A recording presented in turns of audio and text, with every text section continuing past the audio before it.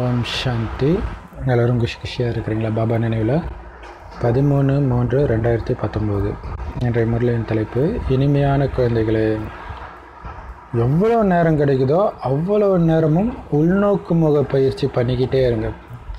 நான் ஆத்மா நான் ஆத்மா ஆத்மாவுடைய மனநிலை எப்படி ஆத்மாவுடைய அப்பா யார் இந்த ஆத்மா என்னவா இருந்துச்சு இப்போ ஆத்மாவுடைய ஸ்டேஜ் எப்படி இருக்குது? இதை பற்றி கவலையிலே இருக்கணுமே தவிர வெளிநோக்கு முகத்தில் அதாவது வெளியில் நடக்கிற விஷயத்தில் வந்துடாதீங்க. அப்போ தான் உங்கள் பாவம் நீங்கும். வெளியில் நீங்கள் ஒரு காரியம் செய்ய வேண்டியதாக இருந்தாலும் உள்நோக்கு முகத்தில் இருந்து செய்யணும். அதுதான் ரொம்ப முக்கியம். இல்லையா? அந்த ஆத்ம நிலையில் நிலைச்சி இருந்து பண்ணணும். அப்போ தான் பாவம் எரியும். இல்லாட்டினா பாவம் சேரும். கேள்வி. ஒவ்வொரு குழந்தைக்கும் பாபா என்ன முன்னேறும் கலைக்கான முயற்சி கற்றுக் கொடுக்குறார்? அப்படின்னா ஒரு அப்பா கிட்ட மட்டும் புத்தியை ஈடுபடுத்துங்க. குழந்தைகளே முன்னேறும் கலையில் இருக்கணுமா? ஒரு அப்பா கிட்ட மட்டும் புத்தியை ஈடுபடுத்துங்க. இவங்க அவங்க அப்படி பண்ணுறாங்க இந்த அவகுணம் இருக்குது. இது உங்களுக்கு தேவையில்லாத வேலை. அந்த மாதிரி மற்றவங்களுடைய அவகுணத்தை பார்த்து வந்து உங்கள் முகத்தை திருப்பிக்கோங்க. எப்படி சூப்பராக சொல்றாரு பாருங்க. இல்லை முகத்தை திருப்பிக்கோங்க. முடிஞ்சு போச்சு சிம்பிள் அதையும் பார்த்துட்டு இருக்கிறீங்க. ஏன்னா உங்களுக்கு இல்லாத வேலை. நம்ம சொல்லாங்களே நம்ம முதுகிலே இவ்வளோ அழுக்கு இருக்குன்னுவாங்களே. ஸோ அவ்வளோ பாவம் வெளியில் பார்க்கும்போது இன்னும் பாவம் சேர தான் செய்யும் எதையும் பார்க்காதீங்க. ஒருபோதும் இந்த படிப்பு மேலே கோச்சிக்காதீங்க. முரளியில் நல்ல நல்ல குறியா அதை தாரணை பண்ணிக்கிட்டே இருங்க. அதை ஆசை போட்டுக்கிட்டே இருங்க. அது உங்களுக்கு நல்லது. இல்லையா? அப்போ தான் முன்னேறும் கலை ஏற்படும். இல்லாட்டினா இறங்கும் கலை. ஸோ படிப்பின் மீது எதன் காரணத்தை கொண்டும் கோச்சிக்காதீங்க. இல்லை பிராமண பரிவாரம் பிடிக்கல. மேலே இருக்கிறவங்களோ கீழே இருக்கிறவங்களோ யாரோ பிடிக்கல. அதனால் நான் முரளி கேட்க வரல. அப்படின்னு போயிடாதீங்க. ஏன்னா முரளி தான் ஆதாரம். அவங்க எப்படி வேணாலும் இருக்கட்டும்ப்பா நான் வர்றது முரளிக்காக. அவ்வளோதான் ஸோ அதுக்கு நிறைய டெஸ்ட் பேப்பர் நீங்கள் பாட்டுக்கு அமைதியாக நம்ம என்ன இலக்கு அதில் தான் கவனம் இருக்கும் அப்போ தான் கலை ஏற்பட முடியும். ஓம் சாந்தி இந்த ஞான வகுப்பு இப்போ நடக்குது. அதிகம் நடந்தது யோகத்தின் வகுப்பு. இல்லையா? சமிர்த வேலையப்போ யோகா. எல்லோரும் கும்பலாக இருந்து யோகா பண்ணுவாங்க. ஸோ அது யோக வகுப்பு. இப்போ ஞானம் ஞானத்தை பாபா கொடுக்குறார். யோகா முடிஞ்ச பிறகு. எந்த யோகம்? அப்படின்னும் நீங்கள் கரெக்டாக புரிய வைக்கணும். ஏன்னா அவங்களுக்கு புரியாது என்ன யோகம்னு. ஹட யோகத்தில் சிக்கிட்டு இருக்கிறாங்க. அவங்க புத்தியில் யோகம்னாலே என்னது? ஹடயோகம் அதை மனிதர்கள் கற்றுக் கொடுக்குறாங்க ஹட யோகத்தை. இது ராஜ யோகம் ரெண்டுத்துக்கும் வித்தியாசம். ஹடயோகன்றது கீழான யோகம்னு அவங்க மனசில் வர வைக்கணும். ராஜ யோகம் உயர்ந்தது. பரமாத்மா தான் இதை கற்றுக் கொடுக்க முடியும். ஏன்னா ராஜா யோகத்தை ஒன்று ராஜா கொடுக்க முடியும். இப்போ ராஜா இல்லையே. ஸோ நம்பர் ஒன் மகாராஜா மகாராணியாக இருந்த லக்ஷ்மி நாராயணனா ஆக்குற யோகம்னா அது கல் கற்றுக் கொடுக்க முடியாது இல்லை அப்போ அது அதுக்கு ஈக்குவலாக அல்லது அவங்க தானே கற்றுக் கொடுக்க முடியும்? ஸோ சிவன் கற்றுக் கொடுக்குறேன் முந்தைய ஜென்மத்தில் அதாவது சத்தியுகத்தில் முதல் ஸ்ரீநாராயணன் லக்ஷ்மியாக ஆகிறவங்க அதுக்கு முந்தைய ஜென்மமான சங்கம் யுகத்தில் இந்த ராஜயோகத்தை சுயம் பகவான் கிட்ட கற்றுக்கிட்டு தான் இந்த பகவதியாக ஸ்ரீ லக்ஷ்மி நாராயணனாக ஆகுறாங்க. இதுதான் இந்த புருஷோத்தம சங்கமயோகத்துடைய விளக்கமே. இது என்ன புருஷோத்தமம்? இது எந்த விதத்தில் உயர்ந்தது? இந்த விதத்தில் தான் உயர்ந்தது. பழைய உலகத்துக்கும் புது உலகத்துக்கும் இடையில இருக்கிற யுகம் இது. பழைய மனிதர்கள் புதிய தேவதைகள் ரெண்டுத்துக்கும் இடையில இருக்கிற யுகம். அதாவது இந்த பழைய மனிதர்கள் புதிய தேவதைகளாக மாறுற அந்த டிரான்ஸ்ஃபர்மேஷன் ஃபேஸ் தான் இந்த சங்கமயுகம். ஆனால் உங்களை சுற்றி இருக்கிற பேரும் பழைய மனிதர்கள். நீங்களும் பழைய மனிதர்கள் தான் உடல் பழசு தான் பட்டு புத்தி புதுசாக மாறிக்கிட்டே இருக்குது. அப்போ தான் புது உலகத்துக்கு போக முடியும். அங்கே இந்த மாதிரி மாறின புது ஆத்மாக்கள் மட்டும்தான் தேவதைகள் தான் இருப்பாங்க. அவங்கள மனுஷங்கன்னு சொல்ல மாட்டாங்க. ஆனாலும் அவங்க மனுஷங்க தான். ஆனால் தெய்வீக குணங்கள் நிரம்பி இருக்கிறதுனால அவங்க தேவதைகள். தூய்மையாக இருப்பாங்க. மெயின் மெயின் என்னது? தூய்மை தூய்மையாக இருப்பாங்க. அதனால தான் அவங்கள தேவதைகள்னு சொல்கிறோம் காம மகா எதிரின்றார் ரூபம் எடுக்கிறான். ஐந்து பூதம் மிகப்பெரிய பூதம். அதுல நம்பர் ஒன் பூதம் இந்த காமம். ரொம்ப ஏன்டா நாயாட்டம் கொலைக்கிற? அப்படின்னு கேட்குறாங்க ஸோ இந்த ரெண்டும் மிகப்பெரிய எதிரி காமமும் கோபமும். பேர மோகம் பற்ற வந்து குறைக்கிறதுன்னு சொல்ல மாட்டாங்க. நாயாட்டம் ஏன் பேராசைப்படுற? அப்படி சொல்ல மாட்டாங்க. மனிதர்களுக்குள்ள சயின்ஸுன்ற அகங்காரம் இருக்குது. அதனால் எவ்வளவு கோபம் இருக்குது? இது ரொம்ப நஷ்டம் ஏற்படுத்தக்கூடியது. அப்படி சூப்பராக சொல்லலாம். விஞ்ஞானத்தின் அகங்காரத்தின் காரணமாக கோபம் வருது அவங்களுக்கு. அதுதானே எதிர்க்கிறாங்க. சயின்ஸை ஆதாரமாக கட்டி காட்டி இது தப்பு அது தப்பு இதெல்லாம் தப்பு. அந்த கோபம் உங்களுக்கு நஷ்டத்தை ஏற்படுத்தும்.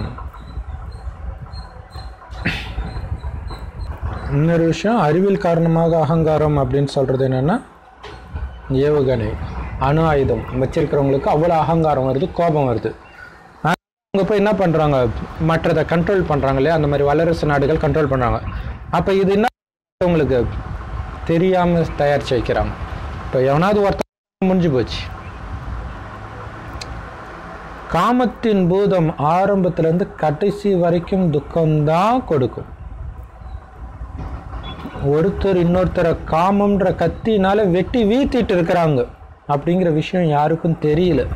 நீங்கள் தெரிஞ்சுக்கிட்டு இதை புரிய வைங்க. மற்றவங்களுக்கு புரிய வைங்க. உங்கள் தவிர அப்பா கிட்ட இருந்து ஆஸ்தி அடையிறதுக்கான உண்மையான வழி வேற யாருமே சொல்ல முடியாது. ஏன்னா எல்லாமே தப்பான வழியை தான் சொல்கிறாங்க பிரச்சனை தீர்றதுக்கு. ஆனால் உங்களால் மட்டும்தான் உண்மையான வழி சொல்ல முடியும். ஆனால் தெரிஞ்சும் சொல்லாமல் இருந்தீங்கன்னா வேஸ்ட் பண்ணுறீங்க இல்லையா? அதுக்கு உங்களுக்கு தெரிஞ்சு என்ன பிரயோஜனம்? குழந்தைகளாகிய நீங்கள் தான் இதை சொல்ல முடியும். எல்லையற்ற தந்தைகிட்ட வந்து இவ்வளோ பெரிய ஆஸ்தி எப்படி கிடைச்சிது? ஸ்ரீகிருஷ்ணருக்கு. சொல்லுங்க. உங்களை யாருக்காவது புரிய வைக்க முடியலன்னா அதுக்கு ஒரே காரணம் தான் படிப்பை அந்த அளவு நீங்கள் கவனம் கொடுத்து படிக்கலைன்னு அர்த்தம். புத்தி வேற எங்கேயோ இருக்குதுன்னு அர்த்தம். இது யுத்த பூமி சாதாரண விஷயம் தானே இது. பிரம்மகுமாரி வாழ்க்கை பிராமண வாழ்க்கைன்னு தப்பாக நினச்சிடாதீங்க. புயல் வரும் ஏறா வரும் விரும்பாமலே வரும். மாயின் எண்ணங்கள் தவறான எண்ணங்கள் வந்துக்கிட்டே இருக்கும். குழம்பிடாதீங்க குழப்பம் அடையக்கூடாது. சதாம் பாபு சாஹி யுத்த பூமி மாயா கம்முன்னு இருக்காது எதா வந்து நிற்கும் தயாராக இருக்கணும். பாதுகாப்பு கவசத்தை எப்போவுமே கழட்டி வைக்கக்கூடாது. அது என்னது? யோக பலம். பாபாவுடைய நினைவு. பாபா நினைவு இருக்கும்போது உங்கள் முன்னாடி மாயா இருப்பாருங்க இல்லையா? அதுவும் நிரந்தர சக்திசாலியாக இருக்கணும். இந்த பொறுப்பு உங்களுக்கு இருக்குது அப்படின்னு சொன்னார் இல்லையா பாபா? ஸோ அது ஞாபகம் இருக்கணும். யோக பலத்தினால மாயை விலகி ஓடிடும். சாரி ஓடாது. கொஞ்சம் ஒதுங்கி நிற்கும் எப்படா யோக பலம் கட் ஆகுதுன்னு பார்த்து டபக்குன்னு வந்து அரெஸ்ட் பண்ணிவிடும் நம்மளை. அதனால் யோக பலத்தில் இருக்கணும் எப்போவுமே. ஸோ இந்த விதத்தில் தான் பாபா சொல்கிறார் மாயை உங்களுக்கு ஹெல்ப் பண்ணுது. ஏன்னா அதுதான் உங்களுக்கு ஞாபகப்படுத்துது. இல்லைன்னா நான் வந்து ஒன்று பிடிச்சிடுவேன் அப்படின்ட்டு. ஸோ அதுதான் அந்த பிள்ளையார் கதை இருக்கும் இல்லையா? நான் இப்போ பிஸியாக இருக்கிறேன். அப்புறம் வா எப்போ? ஃப்ரீயான ஒன்று ஃப்ரீயாக ஆகாதீங்க. பிஸியாகவே இருங்க. இல்லையா? புத்தி மனச சேவையிலையும் ஸ்தூல சேவையிலையும் பிஸி பிஸியாகவே இருக்கணும். ஸோ இதில் ரொம்ப முயற்சி தேவை. பிஸ்னஸ் செய்கிறது நாள் ஃபுல்லாக பிஸ்னஸ்ஸு வேலை அதுலேயே போய் கழிச்சு போயிடுறாங்க. காரணம் தேக அபிமானம். தேக அபிமானத்தில் கழிச்சு போயிடுறாங்க. அதனால தான் இந்த ஞானத்தை நீங்கள் மற்றவங்களுக்கு புரிய வைக்கணுனாலும் ரொம்ப வள வள வளர்னு பேச வேண்டியதாக இருக்குது. பாபா சொல்கிறார் ஆத்மாபிமானி ஆகுங்க. கொஞ்சம் பேசினாலே அப்படியே போய் தைக்கும்ன்றார். எப்போ ஆத்மாபிமானியாக ஆகுறீங்களோ அப்போ தான் பாபா புரிய வைக்கிறது நீங்கள் மற்றவங்களுக்கு புரிய வைப்பீங்க. இல்லைன்னா சம்மந்தம் இல்லாமல் வேறு எதையாவது பேசிகிட்டு இருப்பீங்க. உங்களை ஆத்மான்னு உணருங்க. உணர்ந்து தந்தையை நினைவு செய்யுங்க. இதுதான் உள்நோக்கு முகம். நான் ஆத்மா அப்பாவை நினைவு செய்கிறேன் ஏன் நினைவு செய்கிறேன் ஆத்மா அழுக்காக இருக்குது. ஏன் நினைவு செய்கிறேன் சொர்க்கத்தின் ராஜ்யத்தை அடையணும். ஸோ இப்படி இதை பற்றியே சிந்தனை பண்ணிட்டு இருங்க. இந்த அவசர குழந்தைங்களே வெளிநோக்கு முகம் ஆகிடக்கூடாது. பாபா தான் இந்த அறிவுரை கொடுக்க முடியும். இல்லை வெளிநோக்கு முகமாக ஆகிடக்கூடாதுன்னு அப்பா தான் அறிவுரை கொடுப்பார் குழந்தைங்களுக்கு. ஏன்னா அவருக்கு தான் தெரியும். உள்நோக்கு முகமாக இருக்கிறதுனா என்ன? உண்மையிலே நீங்கள் யாருன்றது அவருக்கு தான் தெரியும். உடம்பு கிடையாது உள்ள ஆத்மா இருக்குது அது அவர் கண்ணுக்கு தான் தெரியுது. அதான் சொல்கிறார் உள்முகமாக இருங்க. சில நேரத்தில் வெளிநோக்கு முகமாக ஆக வேண்டி இருந்தால் கூட டக்குன்னு அந்த வேலையை முடிச்சோன்னே மறுபடியும் உள்நோக்கு முகமாகிற பயிற்சி பண்ணிடுங்க. முயற்சி பண்ணிகிட்டே இருங்க டைம் கிடைக்கும் போதெல்லாம் அப்போ தான் பாவம் அழியும். மீண்டும் மீண்டும் நான் ஆத்மா ஆத்மான்னு வந்துடணும். இல்லை எங்கே சுற்றினாலும் வீட்டுக்கு வர்ற மாதிரி எங்கே சுற்றினாலும் புத்தி உள்ளே போயிடணும். அங்கே தானே இருக்குது ஆத்மா. ஆத்மாவுடைய வீடு அதுதானே. அங்கே போயிடணும். அப்போ தான் பாவம் அழியும். இல்லைன்னா பாவம் அழியாது. உயர்ந்த பதவியும் அடைய முடியாது. பல பிறவி பாவம் இருக்குது. ஒரு பிறவி ரெண்டு பிறவி இல்லை. எண்ணில் அடங்காத பிறவிகளின் பாவம் அடங்கி இருக்குது. தலை மேலே இருக்குது. எல்லாத்தையும் விட அதிகமாக பாவம் பண்ணவங்க யார் தெரியுமா? பிராமண குழந்தைகளாகிய நாம தான். ஏன்னா பாபருக்கு ஆரம்பத்துலேருந்தே நம்ம தான் பாவம் பண்ணுறோம் மற்ற ஆத்மாலாம் அப்போ தான் பரிசுத்தமாக வருது. அதையும் பிடிச்சி நம்ம தான் கெடுத்துருப்போம். ஸோ அந்த மாதிரி அப்போ அப்போ எவ்வளோ பாவம் இருக்குது? யோசிச்சு பாருங்கள் அதுலேயும் வரிசை கிரமமாக இருக்கிறாங்க. யார் ரொம்ப உயர்ந்தவர்களாக ஆகுறாங்களோ அவங்களே தான் முற்றிலும் கீழானவர்களாகவும் ஆகுறாங்க. ஸ்ரீ நாராயண் எப்படி இல்லையா கோயில் கோபுரம் உச்சத்தில் இருக்கிற அதே ஸ்ரீ நாராயணன் தான் இப்போ கீழே ஆகிட்டார். அந்த கோபுரத்தின் கீழே ஆபாச சிலை காட்டியிருக்கிறாங்களே அந்த மாதிரி ஆகிட்டாங்க. ஆகிட்டீங்க. இளவரச ஆனவங்களே ஏழையாகவும் ஆக வேண்டியதாக இருக்குது கலியுக இறுதியில். ஸோ இதை புரிஞ்சுக்கணும். நீங்கள் சாதாரண ஆத்மா கிடையாது இப்போன்னு புரிஞ்சுக்கணும். இப்போ நாராயணன் ஆகிறதுக்கு முயற்சி பண்ணணும். ஆரம்பத்தில் வந்தவங்க பின்னாடியும் வந்து தான் தீருவாங்க. வராமல் போயிட முடியாது. இல்லையா? சத்தியுகத்தில் வந்தவங்க இப்போ இப்போவும் இங்கேயே தான் இருப்பாங்க. என்ன ஆரம்பத்தில் தூய்மையாக இருந்தாங்க? இப்போ தூய்மை இழந்து கிடக்கிறாங்க. இந்த பிரம்மாவுடைய கடைசி பிறவியில் வானப்பிரஸ்த நிலையில் நான் வரேன். இல்லையா? பிறவியும் கடைசி அந்த கடைசி பிறவிலையும் கடைசி நேரத்தில் வரார் அறுபது வயசில் வரார் சிவபாபா அவர் உடலில். பிரம்மாவுக்கு மட்டும் இல்லை குழந்தை. எல்லாருக்கும் வானப்பிரஸ்த நிலை. நிறைய பேர் ஆரம்பத்தில் ஆமாம் பிரம்மபாபா எல்லாத்தையும் அனுபவிச்சிட்டாரு. நான் எதுவுமே அனுபவிக்கல நான் சின்ன வயசு தானே அப்படி நிறைய பேர் கேட்குறவங்க இருக்கிறாங்க. அது அவங்கவுங்களுடைய கணக்கு இல்லையா? அவர் இந்த போது வயசானவராக இருக்கிறார் அவ்வளோதான் மற்றபடி அந்த டைமில் தான் பற்று இதெல்லாம் வேறு அதிகமாக இருக்கும் இல்லையா? ஸோ அதெல்லாம் ஒரு செகண்டில் தூக்கி கடைசினார்ல. ஏன்னா ஆத்மாவுக்கு பார்த்தா இது கடைசி ஸ்டேஜ் தான். உனக்காக எக்ஸ்ட்ரா டைம்லாம் கொடுக்க முடியாது. அதனால தான் உன்னை ஆத்மான்னு புரிஞ்சுக்கோ வானப்பிரஸ்த நிலையில் இருக்கிறேன்னு புரிஞ்சுக்கோ. இன்னைக்கு பிறந்த குழந்தையா இருந்தாலும் அது வானப்பிரஸ்த குழந்தை தான். லவ் யூ பாபா அதாவது லவ் யூ பாபா ஒரு பைபிளில் இந்த மாதிரி போட்டிருக்குது அப்படின்வாங்க உட்காந்து பிறக்கும் போதே வயசாகி பிறக்கும். அது பைபிளில் எங்கே இருக்குதுன்னு தெரில தெரிஞ்சதுன்னா சொல்லுங்கள் அப்போ அதோட என்ன அர்த்தம் என்னது வானப்பிரஸ்த நிலையில் பிறகுதுன்னு அர்த்தம். அவங்க உடலை நினச்சிட்டு இருக்கிறாங்க. ஸோ அதே மாதிரி பாகவதத்திலையும் போட்டிருக்கிறதா இஸ்கான் குரூப் சகோதரர் சொன்னார். ஆத்மாவை சொல்கிற விஷயம் அது. எல்லாருக்கும் வானப்பிரஸ்த நிலை தான். நேற்று சூப்பராக சொன்னார் பாருங்க. குழந்தைய அடிப்பிய நீனு? உன்னுடைய சகோதர ஆத்மா அது அடிப்பிய நீனு? உடம்பு தான் குழந்த உடம்பு. உள்ளே இருக்குது சகோதர ஆத்மா. அழிக்கக்கூடாது அப்படின்னு சொன்னார் இல்லையா? எல்லாருக்கும் சத்கதி கொடுக்கிறவர் அப்படிங்கிற மகிமை தந்தைக்கு தானே இருக்குது. அப்போ எல்லாருக்கும் சத்கதி கொடுப்பவர்ன்ற மகிமை இருக்குதுன்னா கொடுத்துருப்பார்ல அது இந்த சங்கமிகத்தில் தான் கொடுக்குறார். அதனால் இந்த யுகத்தையும் ஞாபகம் வச்சுக்கணும்.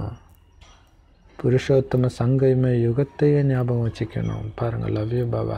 பாபா வந்து அவரை நினைக்கும் பொழுது பரந்தாமத்தில் இன்னைக்கு சொல்கிறார் ஏன்னா அவர் இருக்கிற இடம். இன்னொன்று அவர் வர்ற அந்த நேரத்தையும் நினைக்கணும். அதனால தான் இந்து மதத்தில் நல்ல நேரம் கெட்ட நேரம் வருது இல்லையா? அப்போ பாருங்கள் நல்ல நேரம்னு ஒன்று ஒதுக்குறாங்கனாலே மற்ற எல்லாமே கெட்ட நேரம் தான் அர்த்தம். அப்போ ஒரு நாளைக்கு நல்ல நேரம் எவ்வளோ ஒதுக்குவாங்க. கொஞ்ச நேரம் தான் ஒதுக்குவாங்க. ஒரு மணி நேரம் தான் ஒதுக்குவாங்கன்னு நினைக்கிறேன். அப்போ பாருங்கள் ஸோ அப்போ அது எதோடைய நினைவு? இந்த புருஷோத்தம சங்கமேகத்துடைய நினைவு. ஸோ இந்த புருஷோத்தம சங்கமேகம் யுகத்தையும் சேர்த்து ஞாபகம் எங்கன்றார் அப்போ இது எவ்வளோ முக்கியமான விஷயம் பாருங்கள் இது சார்ஜ் போடுற நேரம் ஆத்மா சார்ஜ் போடுற நேரம் இந்த சங்கமேகம் சங்கமேகத்துடைய மகிமை பாடிக்கிட்டே இருக்கணும். ஏன்னா மனிதர்களுக்கு எல்லாருக்கும் ஞாபகம் இருக்குது இல்லை ஆடப்பாப்பா இந்த யுகத்தை இப்போல்லாம் காமத்தெல்லாம் விட முடியாது. ஏன்? ஏன்னா இது கலியுகம்னு அவங்களுக்கு ஞாபகம் இருக்குது. உங்களுக்கு சங்கமயுகம் இப்போ காமத்தை விட்டே ஆகணும். ஏன்னா இது சங்கமயுகம் ஞாபகம் இருக்கணும். உங்களுக்கு மட்டும்தான் இது ஞாபகம் இருக்குது. மனிதர்களுக்கு யாருக்கும் தெரியவே செய்யாது. ஆனால் இதை தெரிஞ்ச நீங்களே கூட அடிக்கடி மறந்துடுறீங்க. நீங்கள் செய்கிற தொழில் தான் உங்களுக்கு ஞாபகம் வருது. ஸோ வெளியில் புத்தி போகிறத கட் பண்ணிட்டேன்னா தானாகவே இந்த ஞானம் நல்ல தாரணையாகும். வெளி விஷயங்களை புத்தி மாட்டிக்கக்கூடாது கடைசியில் இறக்கும் பொழுது மனைவி ஞாபகம் வருது அப்படின்னா என்ன ஆகும்? விபச்சாரியாக பிறப்பீங்க. இல்லையா? ஸோ அப்போ அப்போ பாருங்கள் உங்களுடைய தலையெழுத்தையே மாற்றிடுது அந்த ஒரு நொடி உங்களுடைய நினைவு.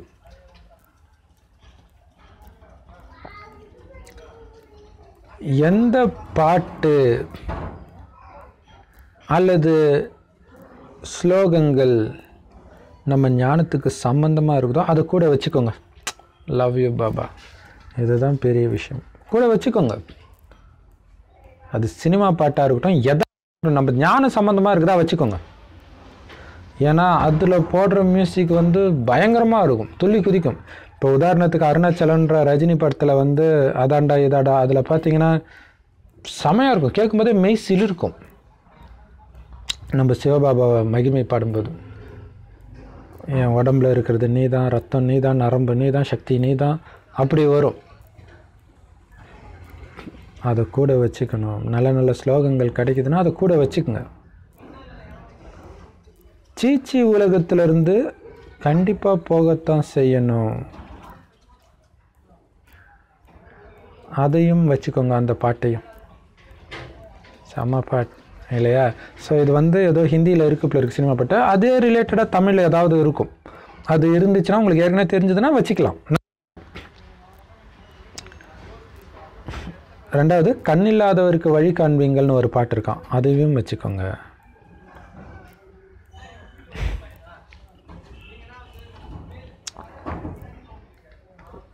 சாதாரண கலியுக மனிதர்கள் இந்த சங்கமிகத்தை பற்றியே தெரியாதவங்க தான் இந்த பாட்டை அமைச்சிருக்கிறாங்க ஆனால் அதில் ஞானம் ஒழிஞ்சிருக்குது அப்பாவுடைய ஞானம் வெளிப்பட்டிருக்குது. எல்லாருமே இப்போ ஞான கண் இல்லாத குருடர்கள் தான். பரமாத்மா எப்போ வராரோ அப்போ தான் வழிகாட்டுறார் ஞான கண்ணை கொடுக்குறார். சும்மா தனியாக மட்டும் கொடுப்பாரா? இது அவருடைய சிவசக்தி சேனை.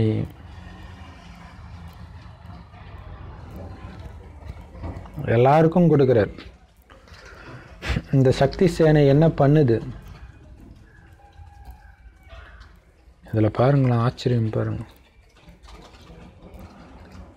இயேசு கிறிஸ்து ஆகட்டும் நபி ஆகட்டும் அவங்க உடம்புல வந்து ஒரு பரிசுத்த ஆத்மா வந்து பேசினா கூட உலகம் ஃபுல்லாக அந்த பரிசுத்த ஆத்மாவுடைய வார்த்தை கூட கேட்க முடியல. ஏன்னா இப்போ கிறிஸ்தவ ஆத்மா வரவே இல்லை. மிஞ்சி மிஞ்சி போனால் அவருடைய சிஷ்யர்கள் கேட்டிருப்பாங்க அவ்வளோதான் ஆனால் இத்தனை பேரும் இறைவனுடைய வார்த்தையை நேரடியாக கேட்குறோம் பாருங்கள் தனி ஒருத்தருக்கு ஞானம் கொடுக்க மாட்டார். கொடுத்தா அவர் கடவுள் கிடையாது. சிவனுடைய சக்தி சேனை நீங்கள் என்ன பண்ணுறீங்க ஸ்ரீமத் படி புது உலகத்தின் ஸ்தாபனை இறைவனோடு சேர்ந்து பண்ணுறீங்க அதுக்காக தான் இந்த ராஜயோகத்தை கற்றுக்குறீங்க அதுவும் பகவானை தவிர வேறு யாரும் புது உலகத்தை உருவாக்கவும் முடியாது. உருவாக்குறதுக்கு தேவையான இந்த ராஜயோகத்தை கற்றுக் கொடுக்கவும் முடியாது. ஆனால் அந்த பகவானுக்கு உடல் கிடையாது. நிராகாரமானவர். மற்ற அனைவருக்கும் உடல் இருக்குது சரீரதாரி மற்ற எல்லாரும்.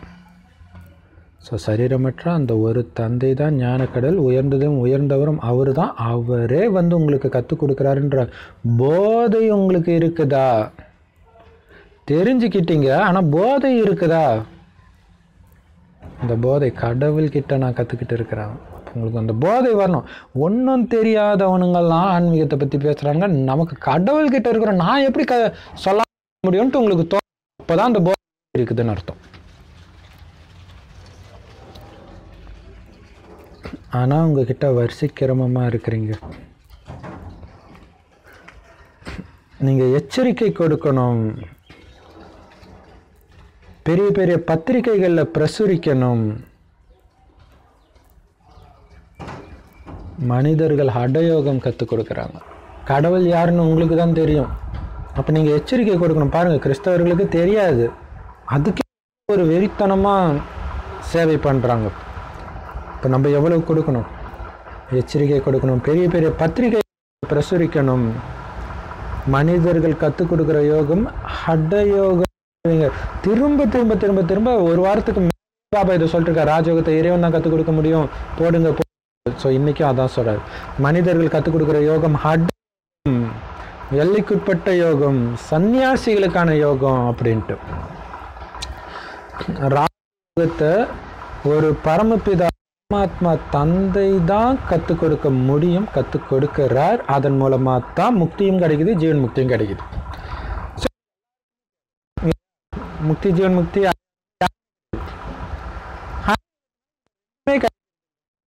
அப்புறம் எதுக்கு அது பின்னாடி போறீங்க?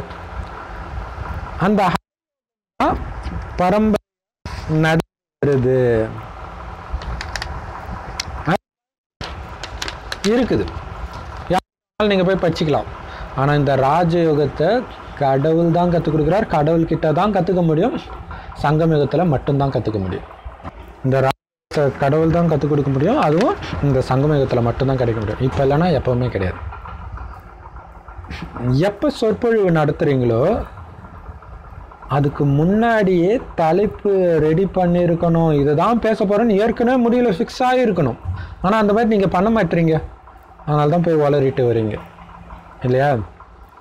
ஸோ பாபா கொடுக்குற இந்த ஸ்டீமர் படி ரொம்ப கம்மியான பேர் தான் நடக்கிறீங்க.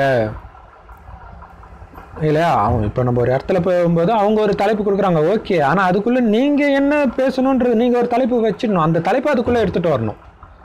இல்லையா சும்மா அதை வச்சு என்னெல்லாம் வருதுன்னா ஒரு பேச ஆரம்பிச்ச பேச்சாளராக ஆகிட்டோம் அப்படின்னாலும் தானே வந்துடும் தான். பட் இருந்தாலும் நீங்களே தயார் பண்ணி பேசும்போது பயங்கர பவர் இருக்கும். ஆனால் சொற்பொழிவுக்கான கருத்துக்களை எழுதுங்க. பிறகு அதை செக் பண்ணுங்க பேசுறதுக்கு முன்னாடி அப்போ தான் அது ஞாபகம் வரும். ஆனால் போய் நீங்கள் பார்த்து பேச தேவையில்லை. அப்படியே பேசணும். இல்லைன்னா அது நல்லா இருக்காது. இல்லை என்ன பார்த்து படிக்கிறாங்க? உங்களுக்கு பேச தெரியல. அப்படின்வாங்க யார் தன்னை ஆத்மான்னு உணர்ந்து மற்றவங்கள ஆத்மா சகோதரருக்கு நட சொல்லி கொடுத்துட்டு இருக்கிறன்ற எண்ணத்தில்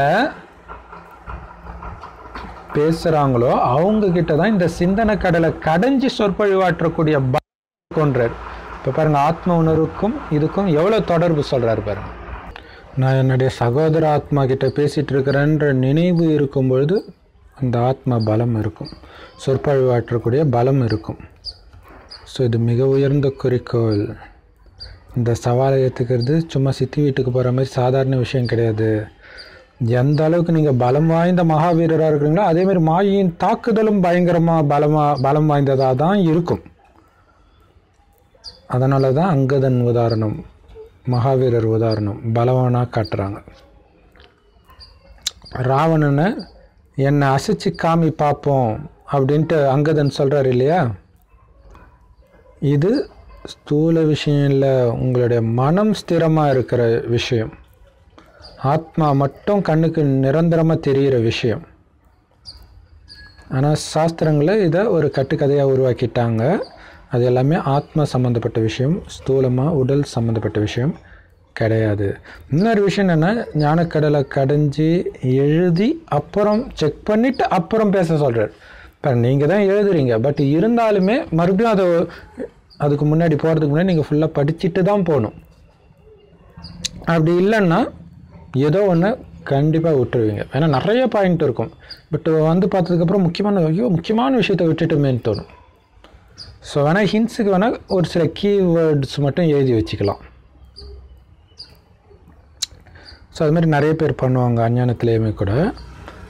ஆனால் அப்படியே பார்த்து படிக்கக்கூடாது. அது தப்பு. சரி.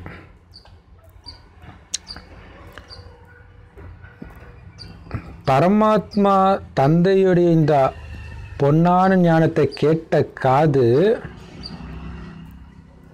முந்தைய கல்பத்தில் கேட்ட அதே காது இந்த கல்பத்தில் பக்தி மார்க்கத்தில் கட்டுக்கதையை கேட்டு கேட்டு கல்லாயிடுச்சு.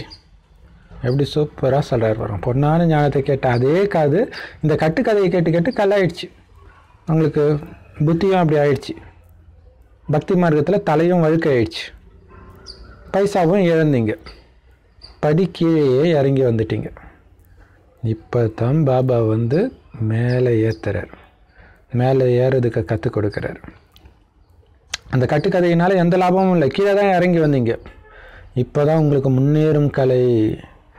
இந்த நேரத்தில் புத்தி யோகத்தை அப்பா கிட்ட ஈடுபடுத்தலைன்னா கண்டிப்பாக கீழே தான் விழுவீங்க. இல்லை பாபா ஏற்றிக்கிட்டே இருக்கிறாரு. ஸோ புத்தி பாபா கிட்ட என்ன இல்லைன்னா என்ன ஆகும்? கலியுக கவர்ச்சி பிடிச்சிருக்கும் போத்துன்னு அங்கேருந்து உழுவீங்க அக்கௌண்ட்டு ஜீரோ ஆகிடும் காமத்தில் கோபத்தில் வந்து ஜீரோ ஆகிடும் ஸோ பாபாவை நினைவு செஞ்சுக்கிட்டே இருந்தால் தான் ஏறிக்கிட்டே இருப்பீங்க. நிறைய உழைப்பு இருக்குது. நீங்கள் விட்டாலே விழுந்துருவீங்க. அதுதான் இங்கே கொடுமை. ஸோ அப்போ நிரந்தரமாக அப்பா நினைவில் இருக்கிறதுக்கு நிறைய உழைப்பு இருக்குது. ஆனால் கவனக்குறைவாக இருக்கிறாங்க. ஸோ எப்போல்லாம் நினைவு பண்ணிக்கிட்டே இருக்கிறோமோ அப்போல்லாம் நம்ம ஏறிக்கிட்டே இருக்கிறோம். நம்மளுடைய ஆன்மீக வருமானமும் ஏறிக்கிட்டே இருக்குது. ஸோ இதில் தான் நிறைய உழைப்பு இருக்குது நிரந்தரமாக நினைக்கிறதுக்கு. ஆனால் குழந்தைங்க கவனக்குறைவாக இருக்கிறாங்க. தொழில் அந்த காசு சேர்க்குற அழியக்கூடிய செல்வத்தை சேர்க்குற அந்த ஆர்வத்தில் அப்பாவையும் மறந்துடுறாங்க. அப்பா கொடுக்குற ஞானத்தையும் மறந்துடுறாங்க. அப்போ என்ன ஆயிடுது?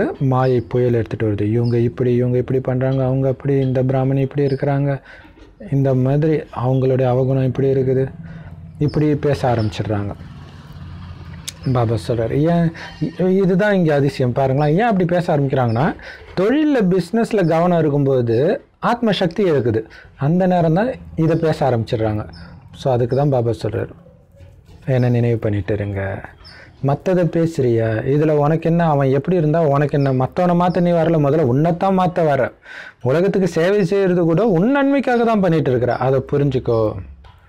இன்னும் யாரும் சர்வ குணங்களில் நிரம்பியவரோ ஆகலை. எல்லாருமே ஏன்னா இருக்கிறதுலே பாவம் அதிகமாக செஞ்சவங்க பிராமண குழந்தைங்கன்னா அப்போ அவங்கக்கிட்ட தான் எல்லா விகாரமும் இருக்கும் தான் அதை நீ ஏன் பார்க்குற உனக்குள்ளேயே இருக்குது. அதை நீ முதல்ல ஏறி.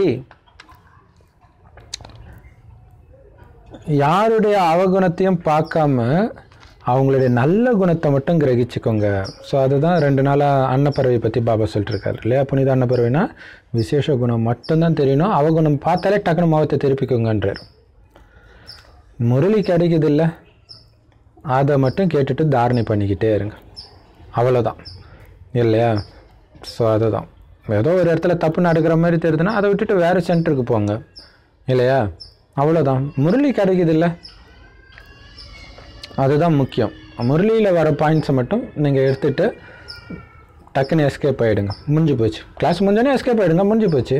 அப்போ வீண் விஷயம் வராதில்ல காதுக்குள்ள? ஏன்னா அந்த மாதிரி விலகி இருந்தால் தான் பார்க்குறவங்க எல்லாம் உங்களுக்கு நல்லவங்களா தெரிவாங்க. நீங்கள் பாட்டுக்கு அப்படியே ரொம்ப க்ளோஸாகவே இருந்தீங்கன்னா கண்டிப்பாக அவங்களுடைய அவகுணம் தான் தெரியும். ஸோ அதனால் பாபா சொல்கிறார் முரளி கேட்டுட்டு கிளம்பிடுங்க. முடிஞ்சு போச்சு. முரளியை மட்டும் தாரணை பண்ணிட்டு இருங்க.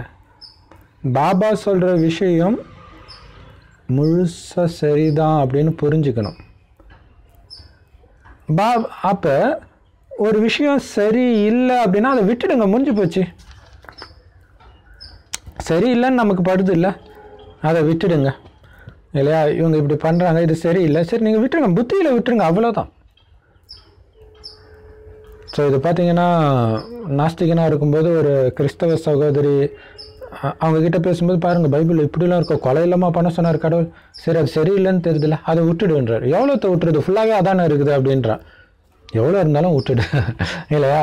அதான் பாபா சொல்கிறார் ஸோ அதே மாதிரி தான் இங்கேயும். இங்கேயும் அப்படி தானே இருக்குது எல்லாருக்கிட்டையும் கெட்ட குணம் தானே நிறையா இருக்குது. எல்லாத்தையும் விட்டுருங்க. அந்த ஒரு கொஞ்சம் நல்ல குணம் இருக்கு பாருங்க. அதை மட்டும் பாருங்கள் படிப்பு மேலே கோச்சிக்கக்கூடாது. படிப்பு மேலே கோச்சிக்க கூடாது. இல்லையா? கணவன் மனைவிக்குள்ள பிரச்சனைனா குழந்தை பழி வாங்கக்கூடாதுன்னுவாங்களே. அது மாதிரி உங்களுக்குள்ள பிரச்சனைனா படிப்பு என்ன பண்ணுச்சு? அதையும் பார்க்காம இருக்கிறீங்க? அதையும் கேட்காம இருக்கிறீங்க? ஏன்னா படிப்பு மேலே கோச்சிக்கிட்டீங்க அப்படின்னா அப்பா கிட்ட கோச்சிக்கிட்டீங்கன்னு அர்த்தம். இல்லையா? ஒரு பிராமணி கிட்ட கோச்சிக்கிட்டு படிக்கலை படிக்க வரல அப்படின்னா நீங்கள் அப்பா கிட்ட கோச்சிக்கிறீங்கன்னு அர்த்தம். அந்த மாதிரி நிறைய குழந்தைங்க இருக்கிறாங்க. இந்த மாதிரி கோச்சிக்கிட்டு சென்டருக்கு வராமல் போயிடுறாங்க. யார் எப்படி இருந்தாலும் உங்களுடைய தொடர்பு முரளி கிட்ட தான் இருக்குது. இல்லையா? முரளியில் சொல்கிற நல்ல பாயிண்ட் எடுத்து தாரணை பண்ணுங்க. யாராவது பேசுறது மகிழ்ச்சி இல்லைன்னா அமைதியாக முரளி கேட்டுட்டு போயிடணும். அவ்வளோதான் பேசினா தானே பிரச்சனையே. இல்லையா? பாபா பாலும் இனிப்பு மாதிரி இருக்க சொன்னாங்க. ஸோ அதுவே ரொம்ப நெருங்கும்போது கசக்க ஆரம்பிச்சிச்சுன்னா டக்குன்னு எட்ட போயிடுங்க. ஆனால் மீன் விஷயம் இல்லையா அவங்க மேலே வெறுப்பு வரக்கூடாது. முரளி கேட்டோன்னே டக்குன்னு எஸ்கேப் ஆயிருங்க எனக்கு டைம் ஆயிடுச்சுன்னு. ஏன்னா அந்த மாதிரி நிறைய பேர் இருக்கிறாங்க. அவங்க தான் பார்த்தீங்கன்னா வருஷக்கணக்காக வருவாங்க. அது மாதிரி விலகி இருக்கிறவங்களால தான் வருஷக்கணக்காக வர முடியும். நான் இங்கே வரமாட்டேன் அப்படின்னு கோச்சிக்க கூடாது. கண்டிப்பாக வரிசைக்கிரமம் இருக்க தான் செய்யும். இல்லையா நம்ம- நமக்கு முன்னாடியே பாபா குழந்தை ஆயிட்டதுனாலையோ ஒரு பெரிய போஸ்ட்டில் இருக்கிறதுனாலையோ சம்பூர்ணம் ஆயிட்டாங்கன்னு அவசியம் கிடையாது. ஸோ அதனால் குறை இருக்க தான் செய்யும். அதனால் அதை பற்றி கவலைப்படுதுங்க. நமக்கு அது தெரியக்கூடாது. இல்லையா? நம்ம ஏன் அசிங்கத்தை பார்க்கணும்? நம்ம பார்க்காம மகத்தை திருப்பிட்டு போயிடுங்க. அப்படின்னு பாபா சொல்கிறார் இல்லையா? கோபம் வருது காமம் வருது. இது எல்லாமே என்னது? அசிங்கம். மகத்தை திருப்பிக்கோங்க அவ்வளோதான் காலையில் எழுந்து நினைவில் உட்கார்றது பாபாவை நினைக்கிறதுக்கு உட்கார்றது ரொம்ப நல்லது. பாபா அப்போ உங்களுக்கு சர்ச் லைட் கொடுப்பாரு சக்தி கொடுப்பாரு. யோகத்தில் உட்காரும்போது பிரம்மா பாபாவுக்கு நெருக்கமான குழந்தைங்க முதல்ல ஞாபகத்துக்கு வராங்களாம். அவங்க வெளிநாட்டில் இருந்தாலும் சரி கல்கத்தாவில் இருந்தாலும் சரி நெருக்கமாக இருக்கிற குழந்தைங்களை நினைவு செஞ்சு சர்ச் லைட் கொடுக்குறாராம். அப்போ பாருங்க அப்படின்னு தான் சேவைதாரி குழந்தைங்க பக்காவான குழந்தைங்க அவங்களுக்கு சக்தி தேவைப்படுது இல்லையா? சக்தி கொடுக்குறாரு. குழந்தைங்க பாபா எதிர கூட தான் உட்காந்துட்டு இருக்கிறாங்க. ஆனால் பாபா நினைவு செய்கிறது யாரை நினைவு செய்கிறாரு சேவை செய்கிற குழந்தைங்கள தான் நினைவு செய்கிறார் பிரம்ம பாபாவும் சரி சிவபாபாவும் சரி. ஸோ ஹெல் ஹெல்ப்லாம் யாருக்கு கிடைக்குது? சேவை செய்கிற இப்போ பாபா இதயத்தில் இடம் பிடிக்குன்னா என்ன பண்ணணும்? சேவை ரொம்ப ரொம்ப முக்கியமானது. ஏன்னா அவர் வந்ததே அதுக்கு தான் சேவை செய்யலை அப்படின்னா பாபா குழந்தையாக என்ன பண் பிரயோஜனம் இல்லையா? அதே மாதிரி நல்ல குழந்தைங்க வந்து சரீரம் விட்டுட்டாங்க அப்படின்னா அந்த ஆத்மாவையும் பாபா நினைவு செய்வாராம். ஏன்னா நிறைய சேவை செஞ்சுட்டு போயிருக்கிறாங்க. அதனால் கண்டிப்பாக இங்கே தான் பக்கத்தில் ஏதோ ஒரு வீட்டில் பிறந்திருப்பாங்க. அவங்களையும் பாபா நினைவு செஞ்சு சக்தி கொடுக்குறார். எவ்வளோ பெரிய ஆச்சரியம் பாருங்க. இல்லை இப்போ நம்மளும் கூட ஏற்கனவே பாபா குழந்தைய இருந்து சரீரம் விட்டு வந்திருக்கலாம். அப்போ அவர் கொடுத்த சக்தியினால கூட நம்ம மீண்டும் பாபா ஞானத்தை எடுத்திருக்கலாம். எல்லாருமே பாபாவுடைய குழந்தைங்க தான். இருந்தாலும் யார் நல்லா சேவை செய்கிறாங்க அப்படின்னு எல்லாருக்குமே தெரியும். இங்கே சர்ச் லைட்டு கொடுங்க. அப்படின்னு பிரம்ம பாபா சொல்லும்போது சிவபாபா அங்கேயும் சக்தி கொடுக்குறாரு. ஏன்னா ரெண்டு இன்ஜின் இருக்குது இல்லையா? ஸோ ரெண்டு பேரும் சேர்ந்து சக்தி கொடுக்குறாங்க. ஸோ அப்போ பாருங்க அந்த சேவை செய்கிற குழந்தை கோயிலெல்லாம் கருணை கொண்டவளே. அதெல்லாம் எதுக்கு ஸோ பாடுறாங்க மகிமை? நீங்கள் கம்பெனி எந்த சேவையும் பண்ணாமல் இருக்கிறதுக்கா? பண்ணவங்களுக்காக தான் இல்லை ஹெல்ப் பண்ணால் தானே தேங்க்ஸ் சொல்லுவாங்க? இப்போ பக்தின்றது தேங்க்ஸ் சொல்கிறாங்க ஐயா. இப்போ நீங்கள் பண்ணுற சேவைக்காக. ஸோ பிரம்மா ஆத்மா சிவபாபா ஆத்மா ரெண்டு ஆத்மாவும் உள்ளே இருக்குது அதான் ரெண்டு இன்ஜின்றார்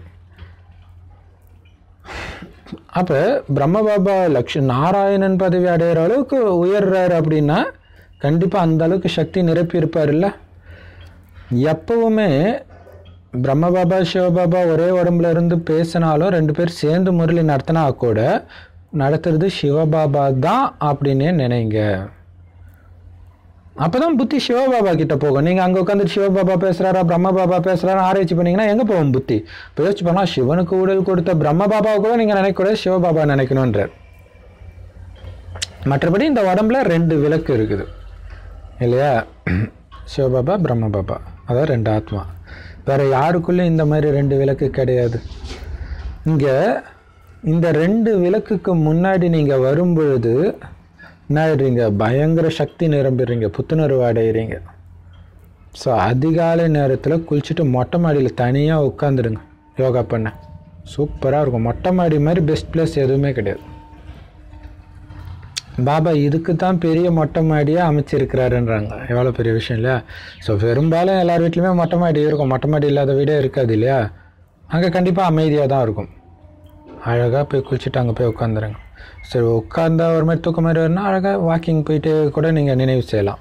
அப்பையும் டயர்டாக இருக்குதுன்னா முரளி கேட்டுக்கிட்டே கூட நினைவு பண்ணலாம். கிறிஸ்தவ பாதிரியார்கள் அந்த மாதிரி அமைதியாக போகிறாங்க கிறிஸ்தவ நினைவு செஞ்சுக்கிட்டு. ஆனால் உண்மையிலே இறைவனை பற்றி அவங்களுக்கு தெரியாது. அதனால் இயேசுவை நினைவு செஞ்சுட்டு போகிறாங்க ஒருவேளை அவங்க உண்மையிலே இறைவனை நினைவு செய்கிறாங்கன்னா சிவலிங்கம் தான் அவங்க புத்தியில் வரும். ஆனால் என்ன பண்ணுறது அவங்க போதை. இயேசுவோடைய போதையிலே அவங்க போயிட்டு இருக்கிறாங்க. அதனால் அவங்க தப்பாக பண்ணுறாங்க அதெல்லாம் ஓகே பட் அவங்கக்கிட்ட வந்து அந்த குணத்தை எடுங்க. இல்லை இப்போ கன்னிகாஸ்திரி மட்டும் இல்லை கொஞ்சம் நல்லா இருக்கக்கூடிய கிறிஸ்தவர்களே பார்த்திங்கன்னா அந்த மாதிரி அந்த ஜபமாலையை ஒட்டிக்கிட்டே வாக்கிங் போகிறாங்க ஸோ இந்த ஏரியா ஃபுல்லாக நிறைய கிறிஸ்டின்ஸ் அது மாதிரி போவாங்க. ஸோ அந்த குணத்தை அவங்கக்கிட்டேருந்து இருந்து கிரகிச்சுக்கோங்க. தத்தாத்திரேயருக்கு கூட எல்லார்கிட்ட இருந்தும் குணத்தை கிரகிக்கிற பழக்கம் இருந்துச்சு அப்படின்றாங்க. ஸோ அந்த தத்தாத்திரேயர் அப்படின்றது யாருன்னு தெரில தெரிஞ்சவங்க அவசியம் சொல்லுங்கள் எல்லோருக்கும் யூஸ் ஆகும் அதே மாதிரி பாபா சொல்றார் நீங்களும் வரிசைக்கிரமமான தத்தாத்திரேயர் தான் குறிப்பாக மதுபனில் வந்து ஏகாந்தம் இருக்குது. வெளி உலகத்தில் வந்து சுத்தமாக புத்தி கட்டாயம் இருக்குது இல்லையா? அதனால் எவ்வளவு வேணுமோ அவ்வளவு ஆன்மீக வருமானம் உங்களால் சம்பாதிக்க முடியும். பாபா சொல்கிறார் இல்லையா? ஒரு வருஷம் வெளி உலகத்தில் நீ கஷ்டப்பட்டு யோகா பண்ணி சம்பாதிக்க முடியாததை கூட மதுபனில் ஒரே வாரத்தில் சம்பாதிக்க முடியுன்றார் ஏன்னா அவ்வளோ அமைதி இருக்குது. வெளியில் சிக்கலான வேலைகள் அப்படின்னா வெளியில் இருக்க ஐயோ அப்போ அப்படின்னு நினச்சிடக்கூடாது. ஸோ அந்தளவுக்கு சூப்பரான இடம் யூஸ் பண்ணிக்கோங்கன்னு சொல்கிறார் வெளியிலும் நம்மளை ஒவ்வொருத்தருக்கு ஒவ்வொரு சுச்சுவேஷன் மாறும். நிறைய பாவம் செஞ்சால் வீட்டில் பெரிய டார்ச்சராக இருக்கும் அதெல்லாம் இருக்குது. படுத்த படுக்கை ஆகிட்டாங்க ஆனால் வீட்டில் எந்த நேரமே டிவி ஓடிச்சுன்னா அது ஒரு மிகப்பெரிய பாவத்துடைய விளைவு தான். இல்லையா? அமைதியே கிடைக்காம. ஸோ அதையும் அப்போ ரொம்ப கஷ்டப்பட்டு அவங்க நினைவு பண்ணோம் ஆனால் பண்ணணும். அப்படி இல்லை வீட்டில் எல்லாம் அமைதியாகவே இருந்தாங்கன்னா மதுபனுக்கு ஈக்குவலாக அவங்க வீட்டில் இருந்தே கூட சேமிக்க முடியும். ஏன்னா மதுபனில் இருக்கிறவங்கள விட அதிகமாக குடும்பத்தில் இருக்கிற தாய்மார்கள் சேமிக்கிறாங்கன்னு சொல்கிறாருல்ல பாபா. வெளியில் வந்து நிறைய சிக்கலான வேலைகள் ஞாபகம் வரும். அதுதான். நம்மளே எடுத்து போட்டுக்கிறது வீடு கட்டணும் குழந்தைய பார்த்துக்கணும் ஸ்கூலுக்கு போகணும் இதை போகணும் இதை போகணும் நிறைய ஞாபகம் வரும். அங்கே மதுபனில் எதுவுமே கிடையாது. இல்லையா? ஸோ பாபா சொல்றார் இது வந்து வீடு. மதுபன் பார்த்தீங்களா? இது வீடு இதுக்கு காவலுக்கு கூட ஆள் இருக்குது நாலு மணி நேரம் தொடர்ந்து நீங்கள் நினைவில் உட்காந்தீங்கன்னா கூட ரொம்ப நல்லது. நீங்கள் வெளியில் எங்கேயும் போக வேண்டிய அவசியமே கிடையாது அமைதியை தேடி. ஏன்னா அந்த இடத்த விட அமைதி உலகத்தில் எங்கேயுமே கிடையாது. இப்போ பாருங்க. சாப்ப சமைச்சு போடுறதுக்கு ஆள் இருக்கிறாங்க காவலாளிக்கு ஆள் இருக்கிறாங்க. எதை பற்றியும் கவலைப்பட வேலை. எக்கியத்துலேயும் காவல் வைக்க வேண்டியிருக்குன்னா கடவுள் வீட்டுக்கே காவலா? நிறைய பேர் சொல்லுவாங்கல்ல கோயிலுக்கே காவலான்ட்டு. உண்மையில் கடவுள் உயிரோட்டமாக வர இடத்துக்கே கூட காவல் வைக்கிறாரு பாபா. ஏன்னா யஜ்யத்துடைய ஒவ்வொரு பொருளும் விலை மதிக்க முடியாதது. அப்படின்னா என்ன அர்த்தம்? அப்படியே விலை உயர்ந்த பொருள்னு அர்த்தம் இல்லை. பாபா குழந்தைங்களுடைய ஒவ்வொரு வேர்வு தொழிலில் கட்டப்படுது. இல்லையா? ஏழை குழந்தைங்களுடைய பணத்தினால் உருவாக்கப்பட்டது தான் எல்லாமே. அதனால தான் பாபா சொல்கிற மிக மிக மதிப்புடையது. ஸோ அதை பாதுகாக்கணும் இல்லையா? அதனால் பாதுகாப்புக்கு முதலிடம் சேஃப்டி ஃபர்ஸ்ட் இருந்தாலும் இங்கே வந்து யாரும் கொள்ளடிக்கெலாம் வரப்போகிறது கிடையாது. ஏன்னா இங்கே நகை கிடையாதுன்னு எல்லாருக்குமே தெரியும். அப்புறம் வந்து என்ன பண்ண போகிறாங்க செம்ம சூப்பர் செம்ம சூப்பர் இல்லையா மற்ற ஆன்மீக நிறுவனம் இந்த அளவுக்கு இப்போ நம்ம இயக்கம் மாதிரி ஃபேமஸாக இத்தனை கோடி பேர் இருக்கிறாங்க அப்படின்னா அங்கே எவ்வளோ காசு இருக்கும் மற்ற இயக்கங்களில்? எவ்வளோ நகை அது இதுன்னு இருக்கும். ஆனால் இங்கே எதுவுமே கிடையாது. அத்தியாவசிய பொருள் மட்டும் கொஞ்சம் வசதியோடு இருக்குமே தவிர வேறு எதுவுமே இருக்காது. அதனால் இங்கே யாரும் வந்து கொள்ளையடிக்க போகிறது கிடையாது. இது ஒன்றும் கோயில் கிடையாது. கோயிலையாவது சிலை தேடுவாங்க. இல்லையா? அது நடக்குது. இப்போவும் நடக்குது. அப்போவே நடந்திருக்குது போல இருக்குது பாபா சொல்கிறாரு பாருங்க. அப்போவே பழைய பொருளை வெளிநாட்டுக்கு கடத்திட்டு போகிறாங்கன்றார் ஸோ இப்போவும் அது நடக்குது. ஏன்னா வெளிநாட்டு பழைய பொருட்களுக்கு ரொம்ப விளைப்பில் இருக்குது அங்கே. காமம் ரொம்ப அருவருப்பானது அசுத்தமானது மகா எதிரி. எல்லாத்தையும் ஒரு வினாடியில் மறக்க வச்சிருது இல்லையா? பாம்பு பார்த்தீங்கன்னா காமத்தில் ஈடுபடும்போது பக்கத்திலே போகலாம் நல்ல பாம்பு. மற்ற நேரம் நெருங்கவே முடியாது. அப்போ என்ன அது சுற்றி வர்றவங்களால ஆபத்து வரும்ன்றதை கூட அது மறந்து காமத்தில் மூழ்கி கிடக்குது. மனுஷனுக்கும் அதே தான் எல்லா விலங்குக்கும் அதே தான் இல்லையா? ஸோ அதுதான் ஒரு வினாடியில் நான் பாபா குழந்தைன்றதை மறக்க வைக்குது. நான் எந்த இலக்கை நோக்கி போயிட்டு இருக்கிறேன்? இது விழுந்தா என்ன ஆகும்? எல்லாத்தையும் மறக்க வச்சிருது காமம் ஒரு வினாடியில். ஸோ அதுக்கிட்டேருந்து எச்சரிக்கையாக இருங்க. அதிகாலையில் ஆரோக்கியத்துக்காக யோக வகுப்பு நடக்குது. அதாவது பாபா நினைவுனால ஆரோக்கியம் கிடைக்குது இல்லையா? ஸோ யோகம்னா அந்த ஹடயோகம் கிடையாது. அதுக்கு அடுத்தது சதா காலத்துக்கும் பணக்காரர் ஆகிறதுக்காக இந்த முரளி வகுப்பு.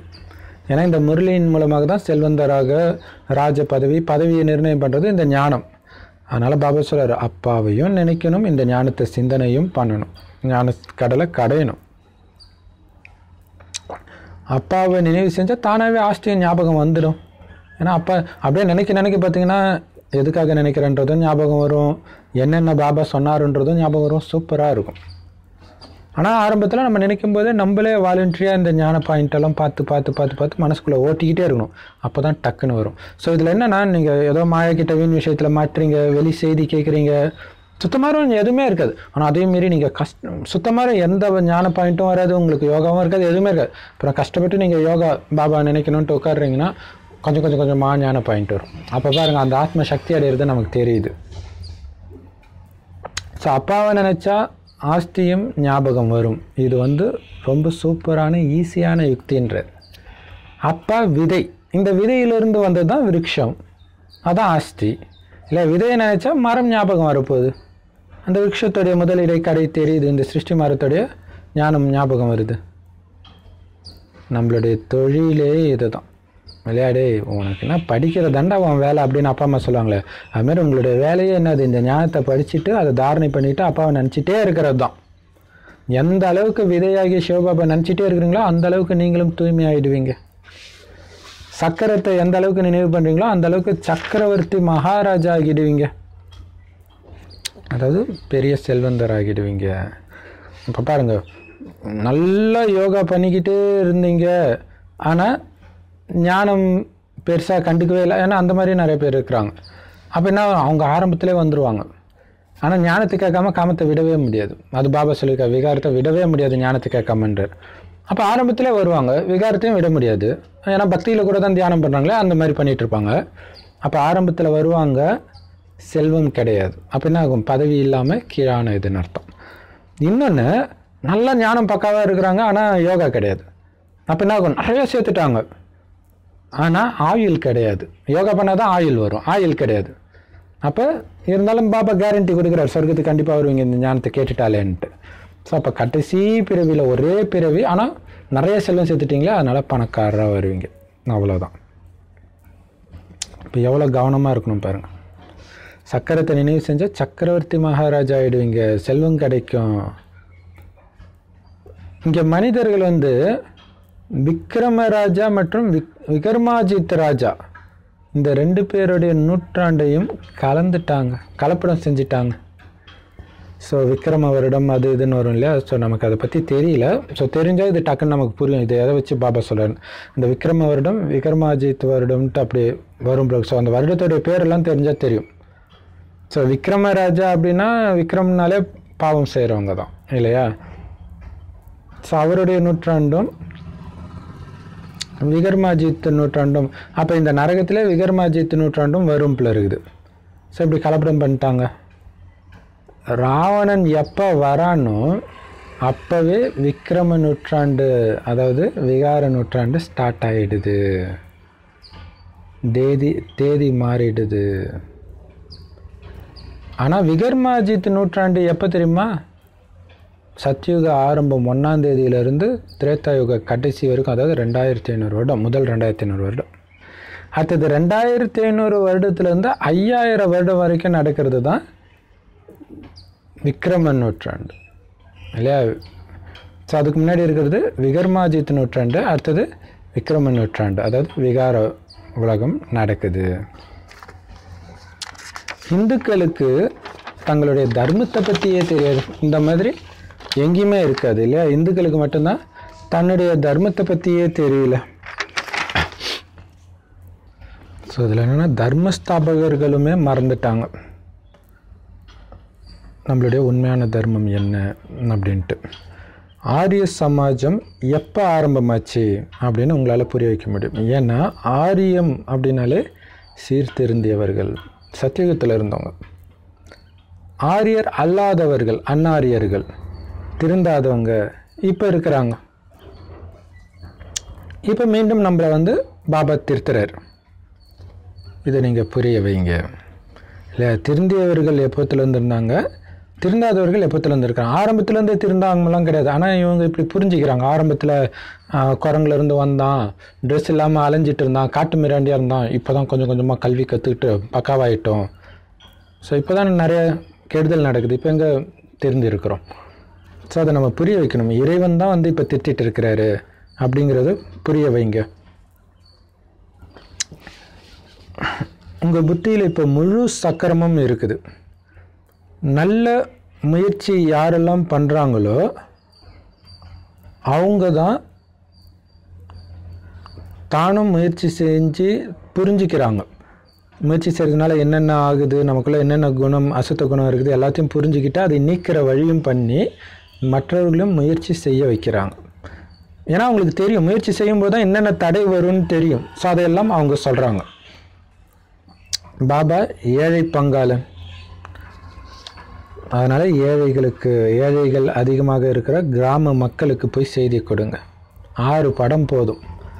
இல்லையா? அதில் ரொம்ப முக்கியமானது எண்பத்தி நாலு பிறவி சக்கரப்படம். படம் சக்கரம் அதான் மெயின் அதை பற்றி நல்லா புரிய வைங்க. இன்னும் கேட்டால் அந்த ஒரு படமே கூட போதும் புரிய வைக்கிறதுக்கு இல்லையா?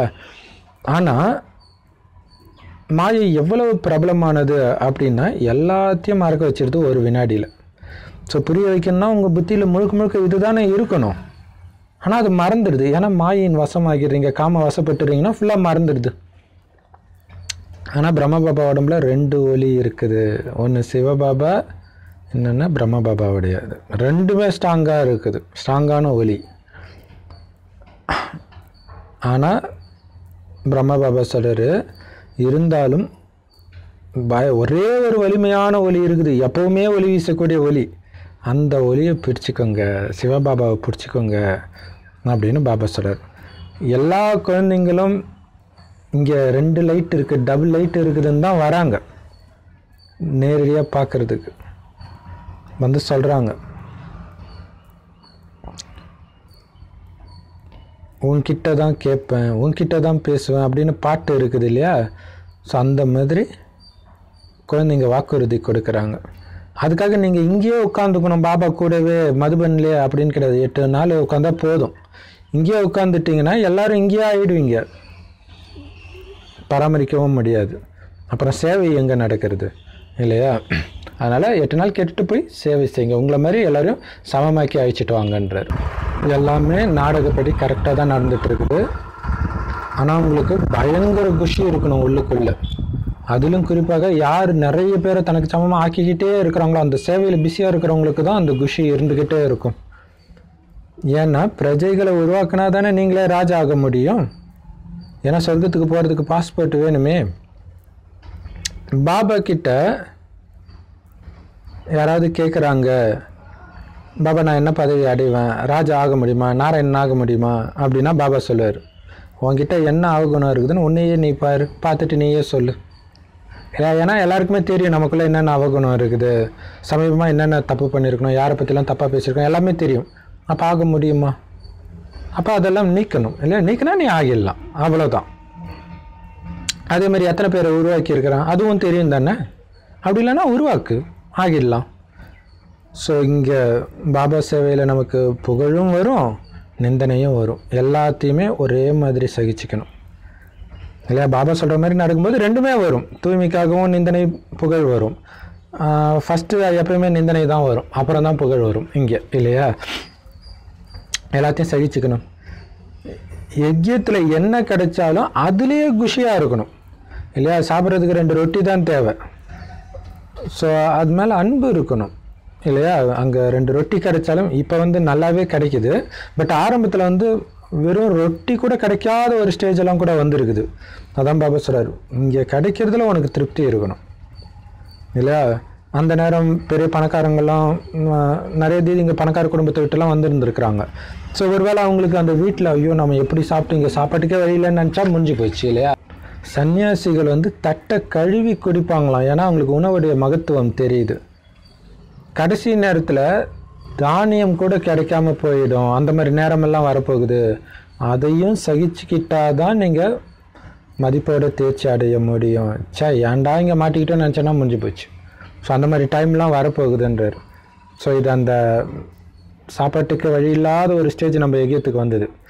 ஸோ அந்த டைமுக்கு முன்னாடி இந்த வாணி வந்துச்சா இல்லை அதுக்கப்புறம் வந்துச்சான்னு தெரியல. அதுக்கு முன்னாடி வந்திருந்தால் அதையுமே கூட அது குறிக்கும். பாருங்கள் பாருங்க எவ்வளோ கவனமாக இருக்கணும். இப்போ பாபா சொல்கிற இந்த வாணியோடைய இது தான் குரானில் அந்த சாப்பாட்டை வீணாக்கக்கூடாது அப்படின்னு வருதுன்னுவாங்க. முஸ்லீம்கள் பார்த்திங்கன்னா அதை ஃபுல்லாக இப்படி வழித்து சாப்பிடுவாங்க. சரி. நல்லது. இனிமையிலும் இனிமையான காணாமல் போய் வெகு காலம் கழித்து கண்டெடுக்கப்பட்ட குழந்தைகளுக்கு தாய் தந்தை பாப்தாதாவின் அன்பு நினைவுகள் மற்றும் காலை வணக்கம். ஆன்மீக குழந்தைகளுக்கு ஆன்மீக தந்தையின் நமஸ்காரம். ஆன்மீக தாய் தந்தைக்கு ஆன்மீக குழந்தைகளின் அன்பு நினைவுகள் மற்றும் நமஸ்தே. தாரணிக்க சரம் இதில் இன்னொரு விஷயம் என்னென்னா அது மேலே மரியாதை வைக்கணும் அப்படின்னு அர்த்தம். அதுக்காக இருக்கிறத ஃபுல்லாக வீணாயிடுன்னு ஃபுல்லாக சாப்பிட்டு உடம்பு வீணாக்கிக்கணும்னு அர்த்தம் இல்லை. கிடைக்கிறதுல திருப்தியாக இருக்கணும்னு அர்த்தம். ஸோ அதுவும் புரிஞ்சுக்கணும். சரி. தார்மிக அனுமிக்க சரம். யார்கிட்டையாவது அவகுணம் தெரிஞ்சதுன்னா உடனே உங்கள் முகத்தை திருப்பிக்கோங்க அவ்வளோதான் ஏன்னா நீங்கள் அதை பார்த்தீங்கன்னா அவன் மேலே உங்களுக்கு வெறுப்பு வந்துடும். அந்த அவகுணத்தை பார்க்காதீங்க அவன் மேலே வெறுப்பு வராது. அவ்வளோதான் ஸோ அப்படி அப்படி இருந்தால் தான் நீங்கள் உங்களால் ரெகுலராக வர முடியும் படிப்பு கேட்க முடியும். இல்லாட்டினா படிப்பு கேட்க முடியாது. அப்போ படிப்பு மேலே கோச்சிக்கிட்ட மாதிரி ஆகிடும் அப்போ அப்பா கிட்டேயும் கோச்சிக்கிட்ட மாதிரி ஆகிடும் ஸோ எப்படி தத்தாத்திரேயர் வந்து எல்லாருக்கிட்டையும் நல்ல குணத்தை மட்டும் கிரகிச்சாரோ அதேமாதிரி நீங்களும் நல்ல குணத்தை மட்டும் கிரகிக்கணும். அவகுணமே உங்கள் கண்ணுக்கே தெரியக்கூடாது. வெளி உலக விஷயத்தில் வந்து புத்தி இன்னைக்கு உள்நோக்கு முகமாக இருக்கிற பயிற்சி பண்ணிக்கிட்டே இருங்க. நான் ஆத்மா தூய்மையான ஆத்மா அமைதியான ஆத்மா அன்பான ஆத்மா அப்பா நினைவில் இருக்கிறேன் அப்பா பேரை மகிழ்ச்சிப்படுத்துகிறேன் அப்பா நினைவிலே அந்த போதையில் அதீந்திர சுகத்தை அனுபவிக்கிறேன். இந்த இந்த இந்த பயிற்சி தான் இருந்துக்கிட்டே இருக்கணும். மற்றபடி நீங்கள் சரீர நிர்வாகத்துக்காக சும்மா கடமைக்கு ஒரு காரியம் பண்ணிட்டு இருந்தால் கூட புத்தி வந்து நான் ஆத்மா ஆத்மா அந்த பயிற்சியிலே மூழ்கி இருக்கணும். ஆத்ம அபிமானியாக இருக்கணும். அதிகமாக உரையாடலில் வந்துடக்கூடாது. ஏன்னா பேச்சு வந்து மிகப்பெரிய எதிரி. யோகத்துக்கு மட்டும் இல்லை சேவைக்கும். சேவைக்குமே மிகப்பெரிய எதிரி. டக்குன்னு நம்ம நினச்சா டக்குன்னு நம்ம பண்ணி அது நேரம் சரி கொஞ்சம் நேரத்தில் யார்கிட்ட பேசலாம். இல்லை ஏதாவது வீடியோ பார்க்கலாம் இல்லை ஏதாவது ஃபோன் பேசலாம் அப்படின்னா முடிஞ்சு போச்சு. அந்த நாளே போயிடும். டக்குன்னு தெரியும். ஸோ நமக்கு மௌனம் தான் ரொம்ப ரொம்ப முக்கியமானது. ஸோ அதிக உரையாடல் யார்கிட்ட பேசினாலும் அஞ்சு நிமிஷத்தில் டக்குன்னு கட் பண்ணுறது வந்து கற்றுக்கணும் அது ரொம்ப ரொம்ப முக்கியமானது. அப்போ மாயா என்ன பண்ணால் நம்மளை புகழ்ந்து பேசுகிறவங்க கிட்ட புகழ்ந்து அதாவது திட்டினா கூட நம்ம கட் பண்ணிட்டோம். புகழ்ந்து பேசினா ஸோ அதெல்லாம் மாயா ஸோ அதெல்லாம் ரொம்ப ஜாக்கிரதையாக இருக்கணும். சரி அப்போ நம்ம பேசும்போது எனக்கு இப்போ அஞ்சு நிமிஷம் தான் இருக்குது அப்படின்னு சொல்லிட்டு பேச ஆரம்பிக்கணும். ஸோ அது ரொம்ப முக்கியமானது. ஏன்னா இப்போ நீங்கள் பேசுகிறீங்க இப்போ சேவையெல்லாம் பண்ணால் வெளிலேருந்து நிறைய கால்ஸ்லாம் வரும். அவங்களுக்கு தெரியாதுல்ல நமக்கு சேவை இருக்குதுன்ட்டு. ஸோ முன்னாடியே சொல்லணும். இந்த இப்போ ஒரு நிமிஷம் இதுக்காக தான் நான் வெயிட் பண்ணுறேன் அப்படின்னும் போது அவங்க டக்குன்னு சரி சரின்ட்டு டக்குன்னு முடிச்சுட்டு வாங்க. சரி. வரதானம். சுகத்தின் அனுபவ ஸ்வரூபமானவர் அனுபவ ஸ்வரூபமானவர் ஆகி ஒவ்வொரு ஆத்மாவுக்கும் சுகத்தை தரக்கூடிய மாஸ்டர் சுகமளிக்கும் வள்ளல் ஆகுங்கள். வரதானம். சுகத்தின் வள்ளலாகி ஒவ்வொரு ஆத்மாவுக்கும் சுகத்தை கொடுங்க. சுகத்தின் சொரூபமாகி சுகத்தை கொடுங்க. அதுக்கு விளக்கம் ஒவ்வொரு செயலையும் கரெக்டாக செஞ்சால் அவங்க கண்டிப்பாக சந்தோஷமாக தான் இருப்பாங்க சக்தி நிரம்பி தான் இருப்பாங்க. ஏன்னா சரியான செயலுடைய பலன் வந்து குஷியும் சக்தியும் தான் பவர் அதனால் அவங்களுடைய இதயம் எப்போவுமே சந்தோஷமாக தான் இருக்கும். ஏன்னா சரியான காரியம் செய்கிறவங்களுக்கு வந்து ஒரு துக்கத்தின் அலை கூட வராது. அவங்க எண்ணத்தில் கூட துக்கம் வராது. எண்ணத்தளவில் கூட வராது. ஏன்னா எல்லாமே சரியாக பண்ணிகிட்டு இருக்கிறாங்க. ஸோ இப்போ பாருங்கள் சமசபரில் அப்போ பிராமணர்கள்னால் என்ன அர்த்தம்? சதா குஷியாக இருக்கணும். அப்போ சதா குஷியாக இருக்கணும்னா என்ன அர்த்தம்? காரியம் எல்லாமே கரெக்டாக பண்ணணும். கரெக்டாக பண்ணால் குஷியாக தான் இருக்க போகிறோம் கரெக்டாக பண்ணுறதுன்னு என்ன அர்த்தம்? பாபா நினைவில் பாபா வழிபடி யாருக்கும் துக்கம் கொடுக்காம பண்ணணும். அவ்வளோதான் சம பவர் இது ஒரு சாதாரண மாதிரி இருக்கும் ஆனால் சம பவர்ஃபுல்லானது ஏன்னா பிராமண வாழ்க்கையுடைய உயிர் சுவாசம் மூச்சே என்னது குஷி தான். இப்போ பாபா சொல்கிற மாதிரி நடந்தால் நீ குஷியாக தான் இருப்ப. அப்படி இல்லைனா தான் துக்கம் வரும். ஏன்னா இந்த சங்கமயுக பிராமணன் அப்படின்னாலே துக்கத்துடைய பேரடையாளம் கூட இல்லாதவன் அர்த்தம். ஏன்னா சுகத்தின் வள்ளலுடைய குழந்தை நீ ஏன்னா சுகத்தின் வள்ளலுடைய குழந்தை தாங்களும் சுகத்தின் வள்ளலாக தானே இருப்பாங்க. அதனால் எல்லோருக்கும் சுகத்தை குஷியை கொடுத்துக்கிட்டே இருப்பாங்க ஒவ்வொரு ஆத்மாவுக்கும். யாருக்கும் துக்கத்தை கொடுக்கவும் மாட்டாங்க யார்கிட்ட இருந்து துக்கத்தை எடுக்கவும் மாட்டாங்க. ஏன்னா பாபா நினைவு பாபா நினைவு உலகத்துக்கு சக்தி கொடுக்கறது. மூன்று கால ஞானம் அன் அனாதி ஆதி சமஸ்காரத்தை மட்டும் பார்க்கறது. அப்போ அவங்க எது பண்ணாலும் நாடகத்தின்படி அவங்க பண்ணுறாங்க அவ்வளோதான் யார் மேலேயும் தப்பு கிடையாது. அப்போ நம்ம துக்கம் அடைய மாட்டோம். அவங்க நடிப்பை நடிக்கிறாங்க. இதில் என்ன நன்மை? இதையும் தாங்கிக்கக்கூடிய சக்தி எனக்கு இருக்குது அப்படின்னு செக் பண்ணுறதுக்கு இது ஒரு சாதனம் அப்படின்னு புரிஞ்சுக்கலாம். ஸ்லோகன். செம பவர்ஃபுல்லான வரதானம் இது. ஸ்லோகன் வந்து மாஸ்டர் வல்லலாகி எல்லோருக்கும் ஒத்துழைப்பு கொடுங்க. எல்லோருக்கும் அன்பு கொடுங்க. எல்லோருக்கும் கருணை கொடுங்க. அப்போ தான் நீங்கள் கருணையுள்ளம் கொண்ட ஆத்மான்னு சொல்ல முடியும். கருணை உள்ளம் கொண்டவளை கருமாறின்றாங்களே ஸோ அப்போ எப்போ? வள்ளலாகி ஒத்துழைப்பு கொடுக்கறதுலேயும் வள்ளல் அன்பு கொடுக்கறதுலேயும் வள்ளல் கருணை கொடுக்கறதுலேயும் வள்ளல். வள்ளல் கொஞ்சம். எனக்கு பிடிச்சவங்களுக்குன்னு கொடுக்கறது ஒரு அளவாக கொடுக்கறது கிடையாது. கொடுத்துக்கிட்டே இருங்க. உங்கள் கருணைக்கு அளவு இருக்கக்கூடாது அன்புக்கு அளவு இருக்கக்கூடாது நீங்கள் செய்கிற உதவிக்கு அளவு இருக்கக்கூடாது. அப் அதுதான் கருணை உள்ளம் கொண்ட ஆத்மாவுடைய அடையாளம். ஓம் சாந்தி. மார்ச் பன்னெண்டு பரமாத்மா சிவனின் மகா வாக்கியம். அப்பா இன்னைக்கு என்ன சொல்லியிருக்காருன்னா உள்நோக்கு முகமாக ஆகி ஆத்ம உணர்வோடு பரமாத்மா நினைவில் எவ்வளோ நேரம் இருக்கும்னு சொல்லி செக் பண்ண சொல்லியிருக்காரு அப்பா.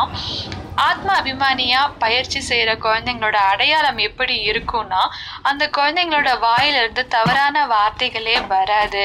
எல்லார் மேலேயும் சகோதரன் சகோதரன் அன்பு தான் இருக்கும்னு சொல்லியிருக்காரு அப்பா. எப்பவுமே பால் பாயாசம் மாதிரி அவங்க இனிமையானவங்களா இருப்பாங்க. எந்த பாவ காரியமும் செய்ய மாட்டாங்க. அவங்களோட பார்வையே இனிமையானதா இருக்கும். எப்பவுமே அவங்க தேக உணர்வுல இருக்க மாட்டாங்க. யாருக்கும் அவங்க துக்கம் கொடுக்க மாட்டாங்கன்னு சொல்றாரு அப்பா. உங்களையும் ஆத்மான்னு உணர்ந்து மற்றவங்களையும் ஆத்மானு பார்க்கணும்னு சொல்லியிருக்காரு அப்பா. ஒவ்வொரு அடியும் சிவ தந்தையோட வழிபடி நடக்கிறேனான்னு சொல்லி நீங்க உங்களையே செக் பண்ணுங்கன்னு சொல்றாரு. ஒவ்வொரு நாள் இரவும் நைட் படுக்கிறதுக்கு முன்னாடி அப்பாவுக்கு கணக்கு ஒப்படைக்கணும்னு சொல்லியிருக்காரு அப்பா.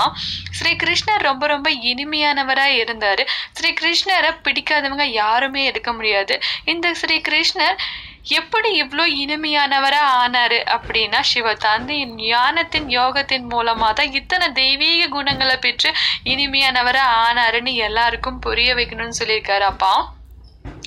ஆத்மா அழிவற்றது இந்த உடல் வந்து அழியக்கூடியதுன்னு நம்ம எல்லாருக்கும் புரிய வைக்கணும்னு சொல்லியிருக்காரு. ஆத்மா தான் எண்பத்தி நான்கு பிறவைகளின் பாகத்தை நடிக்குது.